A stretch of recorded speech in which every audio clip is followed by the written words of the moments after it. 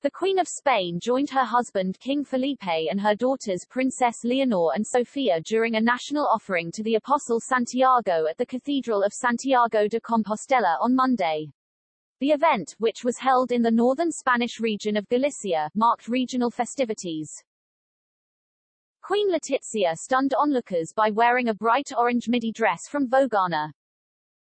She also combined the dress with a pair of Carolina Herrera brown stilettos and a brown bag by the same designer. Fans of the Spanish royal family took to social media to compliment the Queen on her look. Atan Akijada said, Queen Letizia was looking flawless in Vogana collection dress, Carolina Herrera slingback stilettos, mini Doma insignia satchel crossbody and citrine earrings while attending the national offering to the Apostle Santiago in Santiago de Compostela. At Seguridad 0507 added, It is a beautiful image, because today is a beautiful day. A long time ago I went to Santiago de Compostela, and the kings, princesses and infanta, will enjoy it well. Princess Sofia wore a baby blue dress with flat ballet shoes.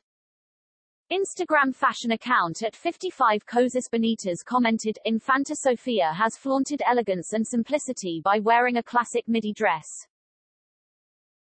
The young royal has hit the spot with a garment that can't be missed in a royal's wardrobe.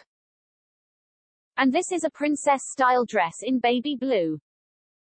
Her older sister Leonor donned a Cairo vestido yasmin pink and red dress. King Felipe also donned a navy suit with a shirt and tie. According to the Spanish royal family, Felipe used his appearance at the event to send his condolences to those affected by fires recently.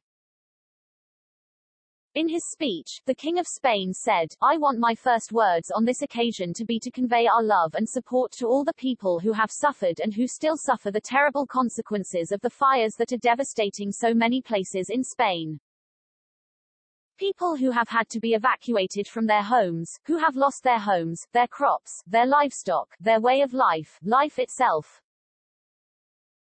our sincere condolences to the families of the deceased in these moments of deep sadness and consternation.